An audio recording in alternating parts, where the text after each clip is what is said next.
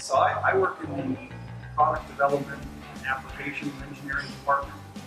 And what our department does is we basically design engines and components and installations for new customers, existing customers, and new markets. So we're out there on the front lines inventing new engines for uh, new applications and customers.